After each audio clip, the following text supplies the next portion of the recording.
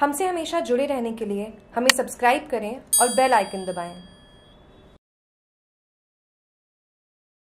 शिक्षा विभाग की ओर से राजकीय बांगड़ उच्च माध्यमिक विद्यालय में सम्मान समारोह आयोजित किया गया, जिसमें ज़िले भर से शिक्षकों ने भाग लिया शिक्षक सम्मान समारोह में जिला स्तर पर 25 शिक्षकों को सम्मानित करने के अलावा उजियारी पंचायत के तहत इक्यालीस सरपंच पीईओ को सम्मानित किया गया। इन सभी ग्राम पंचायतों में एक भी बच्चा स्कूल से वंचित नहीं रहा है। उसको लेकर तीन शिक्षकों को मंडल स्तर पर भी सम्मानित किया गया है।